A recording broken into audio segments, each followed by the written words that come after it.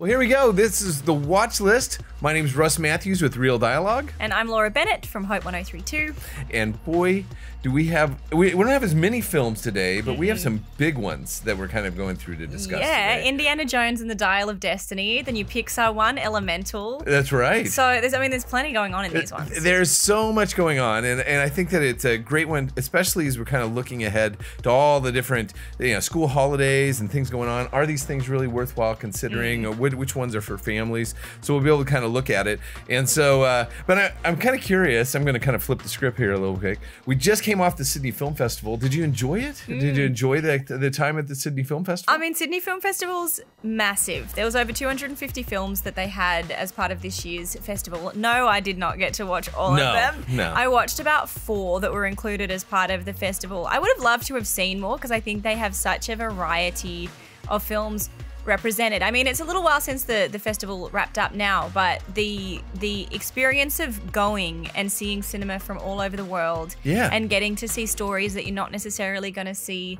in the major, you know, cinema releases. And then they do ones like Elemental and uh, Indy were both part of Sydney Film Festival yeah. screenings, but they'll obviously have bigger releases. So I enjoyed the ones that I did get to go and see. One of them was Carmen. That was Right. a standout. It's a story kind of based in dance, weirdly enough, but then it like it uses dance as an expression of a more multicultural story. Yeah. So I enjoyed that one. All right, fantastic. Yeah, Uh, yeah. I got the one that really was a standout. Um, Red, white, and brass was the true story of the this Tongan brass band that was able to play before the World Cups, based on a true story. Lovely film, just a lot of fun, and also just to be able to see the Tongan culture. It's not something you necessarily get to see a whole lot of, and uh, so it's just really an enjoyable time. Well, as far as uh, kind of supporting the arts, we're going to start right in on Elemental. I don't know if you want to do, Yeah. if you want to talk Well, about it a little bit. Sure.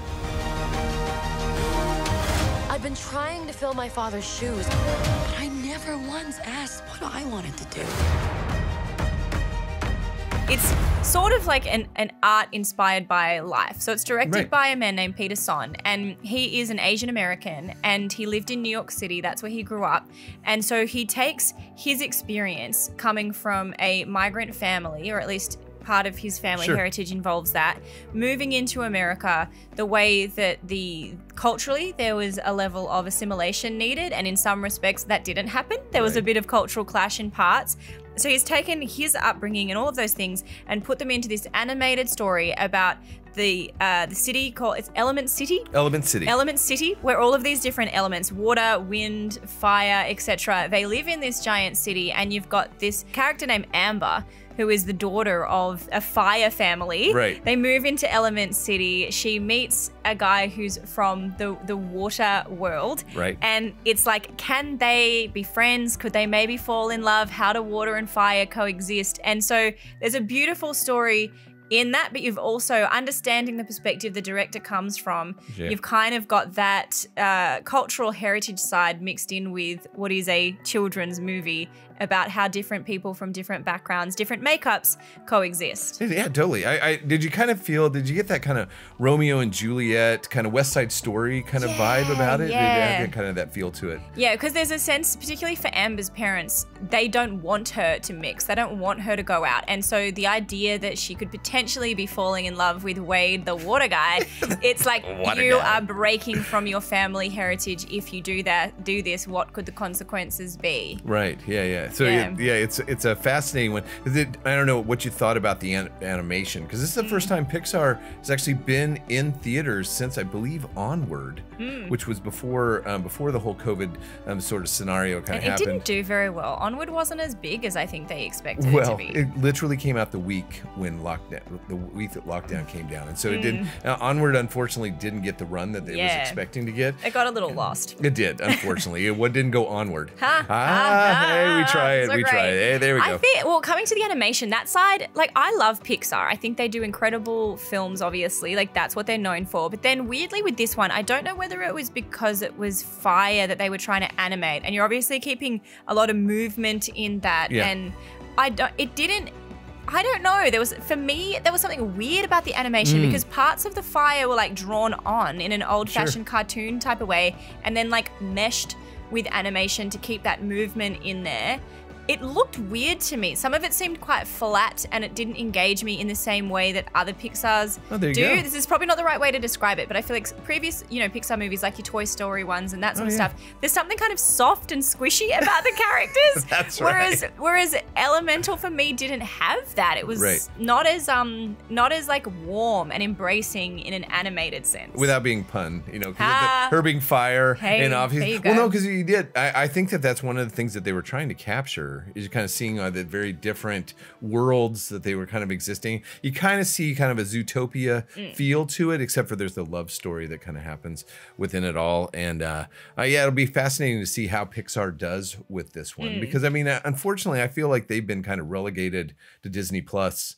Throughout the past few years. And so Mm. Yeah. Mm. now I'm wondering if people will embrace it. I really think that it needs to be seen on the big screen Yeah. to be really appreciated because it is amazing what they are able to do with this kind of building this world of Element City. The city looks incredible. And I think, too, uh, some Pixar movies, more so now, have been framed as almost like statement films. They're trying Right. to drive at some kind of social agenda or tackle, you know, a really big idea that when, particularly for younger families, if you're just wanting to watch a nice movie with characters that have some kind of like good moral thread within it, you know, Yeah. like a, a good guy, bad guy, happy ending type movie. Some of those more statement based ones can be really challenging for some audiences to watch because then you've got to help your kids grapple with these like bigger ideas and wrestle something through as opposed to just go and enjoy, you know, a nice afternoon at the movies. I think the good thing with Elemental, while it does deal with some pretty big emotions. Like one of the things I noticed, the intensity of how um, Ember and Wade fall in love, the intensity of how she feels so uh, like held by her family expectation and what she's got to do with that. Even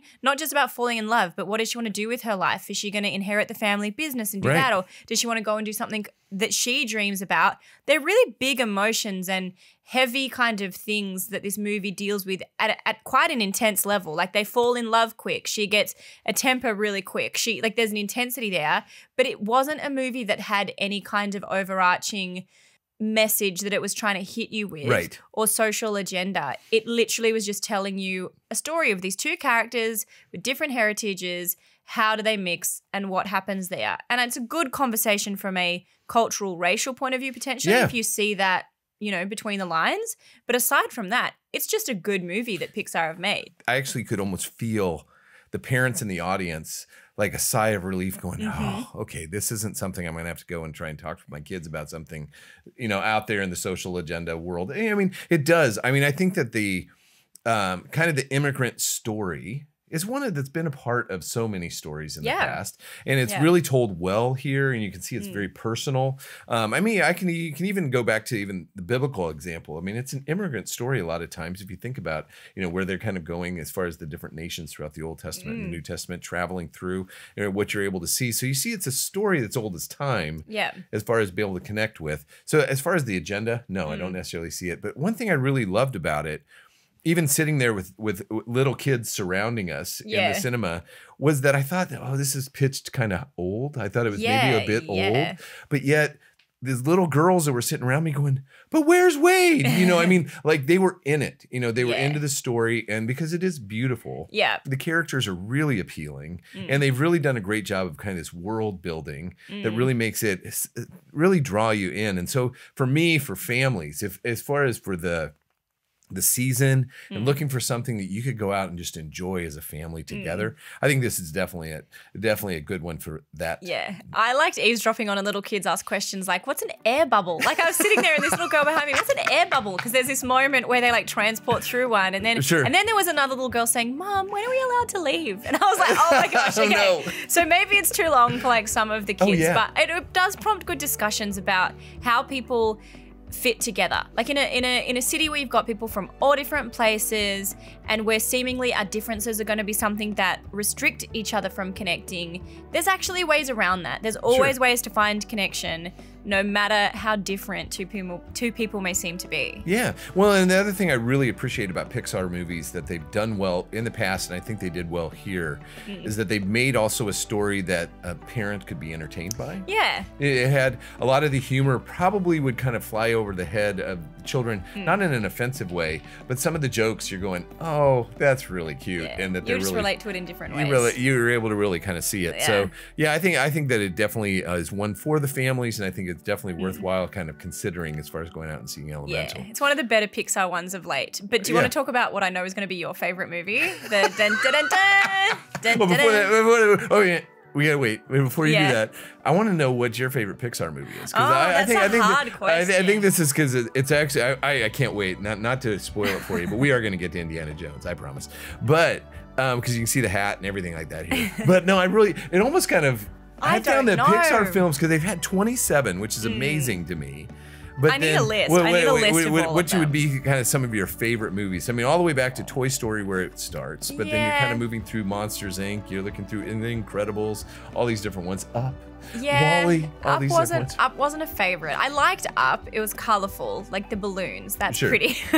you get The me with the balloons. I love the Uh, balloons. Monsters Inc. I think has to be there because the characters, the characters are incredible. Like, Sure. I just loved that, and Little Boo, and just the whole, the whole thing of that is probably one of the ones that stands out a lot more. Sure. Toy Story is great, and I'll always remember it as part of my childhood. Like, of course, the first Sure. ones.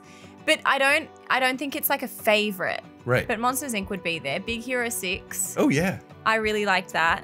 Yeah, that's a tough question. It is. You can't ask me that. I don't know. I can't- I'm, I'm, throwing all the tough questions at you today. I'm sorry. Yeah. Surprise, by the way. Yeah, Yeah, sorry, working yeah. with me, it's always an interesting challenge. yeah, because I know for me, it still comes back to The Incredibles. Yeah. The Incredibles is probably one of my. I love Toy Story. I love Finding Nemo. Inside Out was great, especially having three daughters. I thought Inside Out was brilliant. I just Yeah. thought the the depiction of kind of seeing the inside, the inner workings of a child's mind.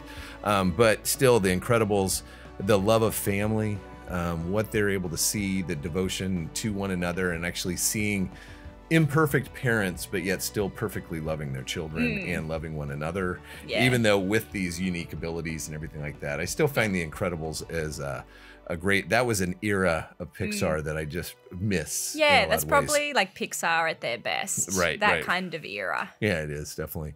All right, so that we can get back to it, and we You definitely have to. We, we need. Yeah, do the, the theme song. That's all I've got. put, the, put the hat on, got the whip, everything Yeah. like that. We're ready to go. Indiana Jones and the Dial of Destiny. Indy! Give him hell, Indiana Jones!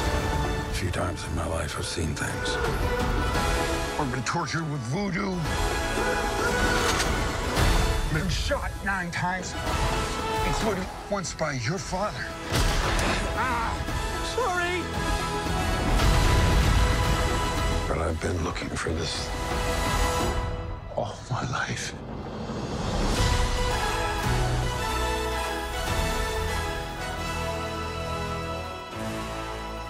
Which shockingly comes 15 years after the last one. That's right. The Crystal Skull. Like, that was one of the things in going to see this movie, because I was trying to remember what the last one was, and let me just recap myself on the story. To realize that that came out in 2008, Right. and this is now when the next one's coming out, that was overwhelming. Well, before we get there, before we get into this movie, because we, we got to see it, and it, it, I you know I think we had different kind of views on it in those different ways, which is great. But see now, I saw. And this shows how old I am. Mm. I saw Raiders of the Lost Ark in the theaters when it opened. Yeah. You and see, I saw it in the theaters when they did the like throwback nostalgia screenings. exactly. But it was for me a seminal film. I mean, Mm. it's one of those that you're going. It defined our generation. It defined who we were. Harrison Ford, both as Han Solo and, I mean, because he he had two franchises that he was working on, much less all the other things that he's done throughout his career. So it it was one of those films. Raiders of the Lost Ark was one of those you could almost say, all the boys of that era could say all of the lines and see all of it. So Mm. It just really had a play. I mean, do you have a favorite, or do you did you have you seen all of them? Do. I've you- seen all of them. I have seen all of them, but I remember like I watched them on like movie nights initially, the Sure. older ones, and then we would do movie marathons. And then, like I said, when they did the re-releases at the cinema for the fun of it, I loved it. Like I loved the character of Indiana Jones. And then the newer ones, like that's that when Shia LaBeouf entered. I know he Yeah. was a, he was a controversial inclu- inclusion because it was like, is he really going to take the mantle from Right. Indy, and what's that going to look like? But I for me at the time, particularly because Shia LaBeouf was also like big off Transformers and all of Oh, these sure. things, that kind of brought me into those stories again after having watched them because I wanted to see what they were going to do with this potential next generation, which they left alone like in the end. But I think they're just one of those movie franchises that fit in such an iconic space within like social history, cinematic history, but I also remember certain bits I wasn't allowed to watch, like when he drinks the cup and there's like the skull face that just Right. like disintegrates Melts, and things yeah. like this. It's like, okay, I got to skip this bit, put the pillow over your eyes, Right. wait till you're old enough to really Eating watch that. brains, So I the- right, so those, I remember them as these like fun adventurous films, but also ones that I wasn't necessarily allowed to fully appreciate until I was a bit older. Yeah, definitely. Oh, yeah, it, it's it's so much. It's fun to kind of look back at them and then Yeah. to be reintroduced to it, especially at this season of my life, and be it kind of a it was kind of almost a welcome look at. Yeah, hopefully this is the end, Yeah. but uh, hopefully they they are honor this well. Yeah. So uh, yeah, we'll Yeah. just kind of see how this ends up going. How about I'll just kind of share real quick what the storyline Yeah. is because kind of basically so Indiana Jones, played by Harrison Ford, a legendary hero, finds himself kind of in a new era. I mean, he's at a point of retirement. Um, he's he's kind of a, he's living as a man outside of his own element his own time. You know, he's an archaeologist that looks back at the past, but now all of a sudden he finds himself in this older age and like what is he? Is he a relic himself? And kind of kind of feeling that out. Then all of a sudden his goddaughter shows up you know? So his goddaughter shows up helena shaw you know played by phoebe waller-bridge and she kind of tries to get him going again, trying to find this dial of destiny, which has been one of those things that her father, who is one of the fellow archaeologist friends of Indiana Jones, um, has been trying to find um, throughout their lives, and is supposed to supposedly change time or maybe change. We're not sure at first what it really. Predict, fix, fix fissures in Uh, time. fissures in time. I think is what they said. fissures. Fissures, yep. Fissures Some in kind time. of break in time. Yep. But obviously, it has some value because it's not only Indiana Jones and his goddaughter trying to find this, but all of a sudden, those from maybe a Nazi heritage or at least mm. that background also are looking to try and find it too. Mm. And so it becomes this adventure of trying to find this dial of destiny before one of the other parties does. And of course, we go on another Indiana Jones adventure. And you realize early on that you are going to have to concentrate a bit for this story Yes. because you start to go, hang on a minute. Have they just tried to like soften Harrison Ford's face with like a Vaseline sort of a lens here? Or are they trying to make it look like we've time traveled? But hang on, the other actors, are they aging at the same time Sure. as him? Like there's a few time warp aspects to this storyline that do mean you need to just pay attention because they're they're going to piece it all together for you. I'm not going to spoil anything, but you got to take the pieces in as they come so that you know what's going on and You where they're going. This is me. I find myself some movies I really need to concentrate. Right. And as much as an Indiana Jones one, you should just be able to let your brain go and enjoy the ride. This one did require a little more attention than I was expecting. It definitely does. Well, because they do the whole de aging process and all that sort of Uh-huh. thing with it.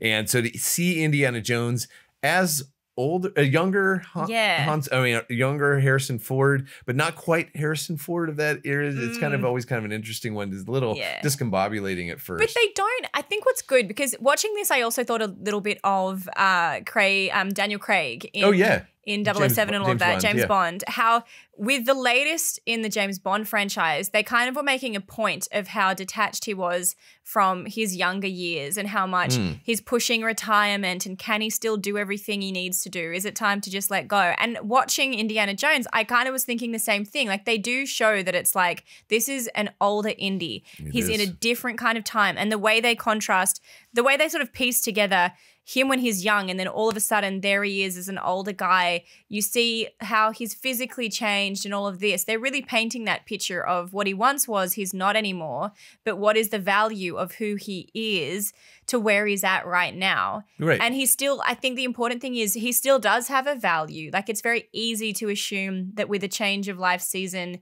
your value changes, Yeah. but it actually doesn't. It's just how you use what makes you inherently unique and the contributions you bring. You may apply them differently, but your value hasn't actually changed. That's right. Well, and that's the thing I think they leaned into. I mean, there was two aspects of what you just said. One is that they acknowledged the fact that Indiana Jones is getting old. You know, Harrison Ford's getting old. He looks pretty Mm. Yeah. good at 70. He looks great. Or 80, where he is now. And he can still tip a bookshelf and like run over the top of it. That's right. I mean, the things he was able to do. I know, granted, he probably had stunt doubles doing a good, a good portion of it, but some Don't of ruin it.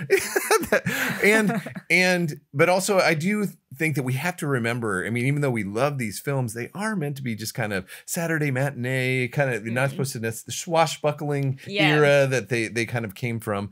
Um, but what they really showed with both him and the Mads Mikkelsen character, which he is just great as the villain. Um, He's so- also a Bond villain too, so That's maybe right. that's why I was thinking about Daniel so Craig. Jurgen Voller is his Uh-huh. name, but because they also de-age him a bit. But both of them, there were times when they talked about the fact that they were men outside of their own time, but they were always kind of looking back, like if I could go back, Mm. if I could just fix it, or if I could go back and experience that, Yeah. that somehow my life would be more fulfilled or be better.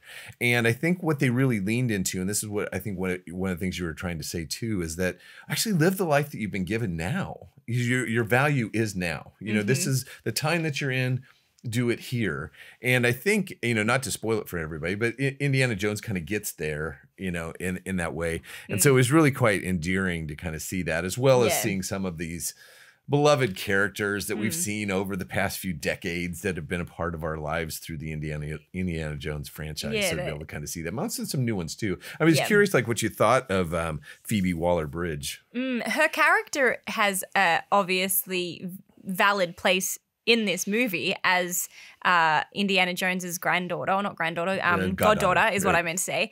So it's like, yes, that is a worthwhile, you know, spot for her to exist in. But I didn't feel like, I just didn't feel like.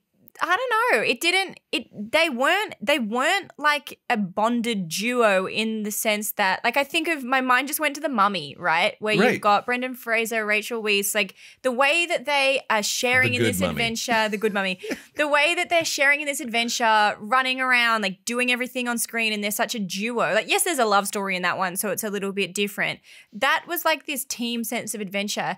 This one, to me, with Indiana Jones, they didn't. I don't know what it is, but it's like they didn't feel like they were in the adventure together quite so much. And I don't know if that's because of some of the things they put in her backstory that mean there's a little bit of disconnect to uh, Indy's current sort of phase. Sure. I don't know whether that's there, but there just didn't seem to be that same type of on screen camaraderie and mm. it wasn't a shared adventure. Like they both seemed to have their own intentions, and that was a little bit of a distraction for me. Yeah. Oh, I and actually uh, that's one of the things that kind of stood out for me too. Is for I feel that Indiana Jones throughout this whole franchise has been the heart and also the moral center. As Mm. interestingly enough, you think you kind of almost uh, it gets depicted that he's stealing artifacts, but he's not. That's not No. what he does. He, actually- wants them all to go to the museum. He wants them to go to the museum. He wants to make sure that they're they're they're they're taken care of Mm. and, and valued for what they are, but that people aren't profiting from them. Yeah, he has an appreciation for the history. Like the historical significance is what he really cares about as much as like finding the treasure. Right.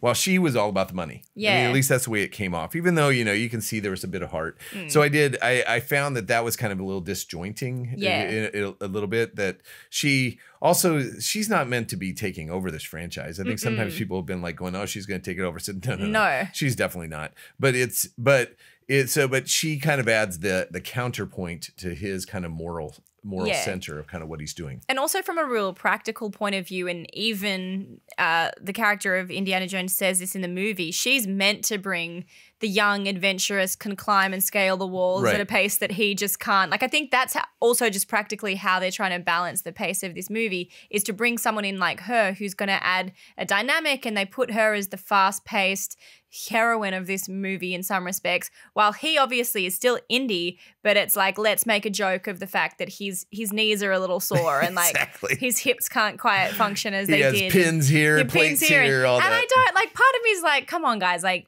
you don't always have to make age come across like this painful joint issue Right. ridden kind of thing. It doesn't have to be that.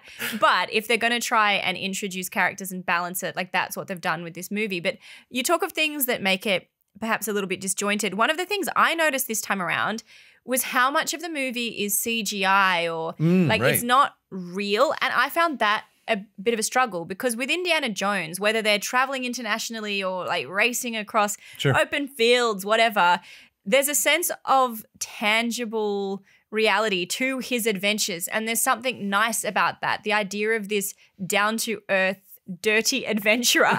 Right. You know, it's something different. In our age of the very pristine superhero, Indy's something different. And then in this movie, so much of it is very clearly like on a green screen or on some kind of like built set, which, yes, movies are on sets, right? We Sure, know this. yeah. But I just felt it was so obvious in this movie Right. that I was, I didn't feel like there's no nothing at stake when I can so clearly tell that you're in this bouncing tuk tuk racing around the streets, but no, you're not. Right. You know, it, Yeah. that that was a bit off putting for me. I didn't. Yeah. I felt like I wanted to love the movie a little more, and that was kind of ruining it. Yeah, yeah, because oh, I, I can totally appreciate the fact that you want practical effects, especially with something like this, Mm. Yeah. opposed to where we're just kind of adding CGI. Yeah, I mean, I think the de aging process they've got to do that, opposed to putting Yeah. in really bad makeup and make, make trying to make them look younger. I mean, I think it, I think it definitely makes sense. Yeah. but I, I can definitely kind of uh, I definitely Yeah. appreciate, especially the horse Yeah. riding scene and all that sort of stuff. you're horse riding in a train station.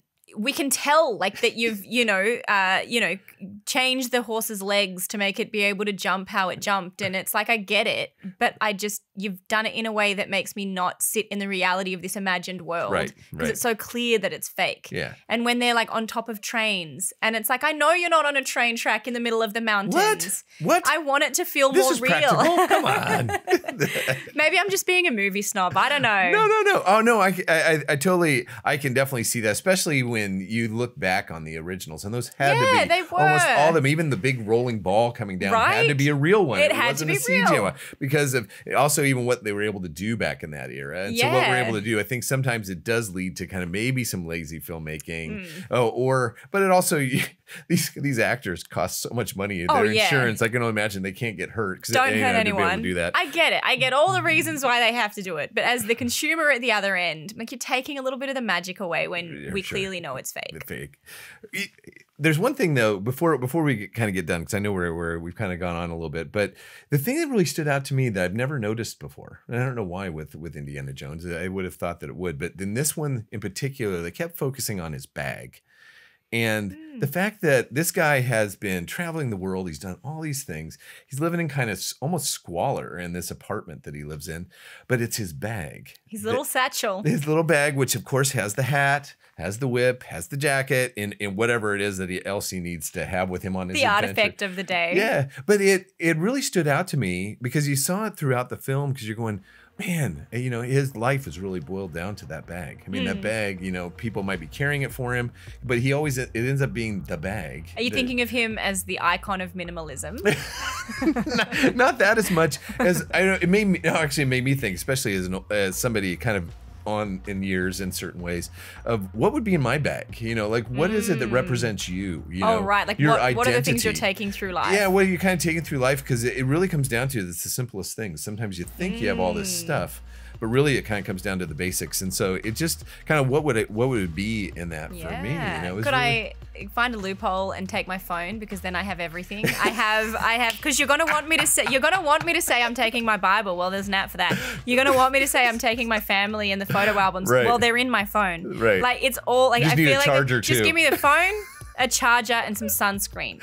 I think that's that's gonna do me just fine. I have everything. That's it exactly. I love it. Oh yeah, it was yeah because it definitely was one of those because we were talking about I was talking about my wife and of course you know you have to say of course my Bible I've got and I'm Yeah. not I'm not even saying that low you know my Bible's going to be there um, paper or electronic however you want to do it see? yeah but then also you're thinking about oh yeah but I can't take my family with but you have pictures you know, so you have those on your phone and all that Mm-hmm. Sort of thing yeah. able to what what gets thrown in there I wouldn't have a whip and a hat maybe but No. but I definitely Maybe a Swiss Army knife. oh yeah there you That's then yeah. Yeah. So add Swiss Army knife to the sunscreen to the phone. There you go. Yeah. Love it. Well, that's a great question. I mean, you can definitely put it down in the comments down below. What would be in your bag if you Mm-hmm. if your life is boiled down to be one satchel that you could carry throughout your life? What would what, what would be in your bag? What would that be? All right. Well, hey, we've come to kind of the end of the watch list, but I, I guess make sure that we're clear. Hmm. So, would Elemental be on your watch list? It's probably not great that I'm not. I'm not a 10 out of 10 fan of either of this week's movies. I'm Right. sorry, but I'd say I'd say like go go for gold and watch the watch Elemental if you kind of just fancy, you know, an afternoon out with the kids. And maybe it's okay. It's okay. Like I just didn't rave about it. Indiana Jones, I think, is fun because there's nothing like Indiana Jones at the moment. Right. There's still something unique about him and his way. So I, I would pick Indiana Jones over Elemental. There you go. Yeah, Yeah. well, because I would for families, Elemental is the top of my list. I mean, I think that I thought it was great. I thought it was a, fun, fun film, um, and I think it's definitely one that pretty much most age brackets could go and enjoy together. Yeah. Indiana Jones. If you're a fan, you've got to go see this because this is really, I think, the end of the franchise. It- they, I think they've done a nice job of kind of wrapping this up, even though it wasn't the best film out of the whole franchise, but it was good, and so it was definitely worthwhile. So, hey, thanks. This was fun. It was fun Thank just kind you. of chat chatting about it. And so, well, we've come to the end. So make sure you subscribe to the watch list. Um, you can do that at Hope 103.2. And also, uh, you can also check out our videos on YouTube. Yes, indeed. And you can subscribe to the podcast wherever you're listening and make sure you have your notifications turned on so that you never miss an episode. Yeah, definitely do that. And so, uh, well, thanks for coming along with the watch list again. We look forward to spending some more time with you again. So make sure you grab your popcorn, check out the films that we've talked about, look at them through the lens of faith, and we'll see you next time on the watch list.